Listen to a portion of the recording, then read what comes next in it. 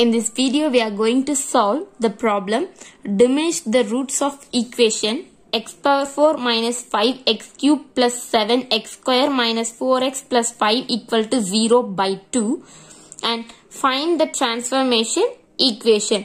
They are asked to solve the equation by diminish by 2. We are going to diminish the equation by 2 and then we get the new equation. This is called transformation equation.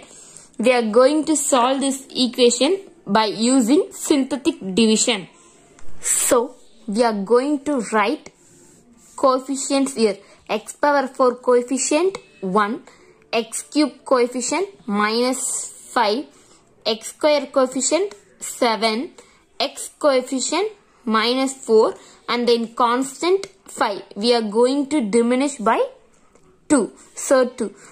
In this synthetic division, the procedure is first we are going to use 0 here 1 plus 0. We have to add 1 plus 0 equal to 1 and then we are going to multiply 1 into 2 equal to 2 minus 5 plus 2 equal to minus 3 minus 3 into 2 equal to minus 6 7 minus 6 equal to 1 1 into 2 equal to 2 minus 4 plus 2 equal to minus 2 minus 2 into 2 equal to minus 4 remainder is 1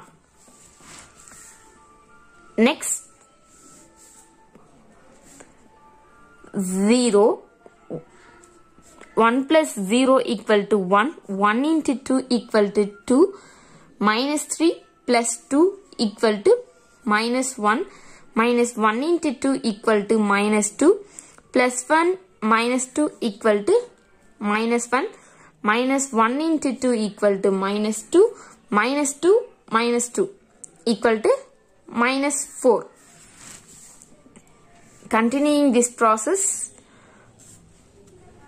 2 0 1 plus 0 equal to 1 1 into 2 equal to 2 minus 1 plus 2 equal to plus 1 plus 1 into 2 equal to plus 2 minus 1 plus 2 equal to 1 next 2 0 1 plus 0 equal to 1 1 into 2 equal to 2 then 3 now the transformation equation is here x power 4 plus 3x cube plus x square minus 4x plus x plus 1 plus 1 equal to 0.